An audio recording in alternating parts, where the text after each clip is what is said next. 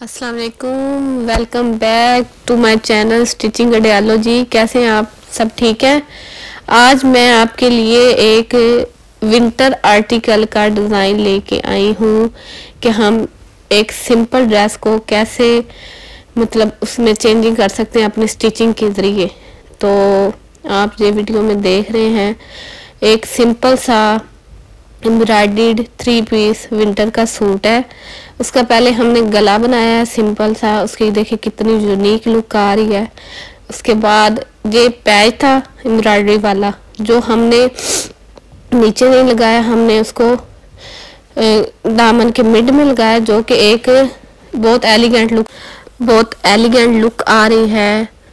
जो कि ड्रेस को थोड़ी यूनिक लुक दे रही है। उसके बाद यही पैच हमने बाजू पे लगाया है, जो कि बहुत अच्छा लग रहा है। कमीज के घेरे के साइडों पे हमने इनर पाइपिंग की है और लेस लगा ली है। देखें थ्री पीस सूट कितनी ब्यूटीफुल लुक दे रहा है ओवरऑल आप इस तरह के मज़ीद हमारे चैनल से आइडियाज़ लेने के लिए हमारे स्टिचिंग आइडियालॉजी चैनल को सब्सक्राइब करें और बेल आइकन को दबा दें, ताकि आप नई वीडियो आप तक पहुँच सके। आपके तावन का बहुत शुक्रिया।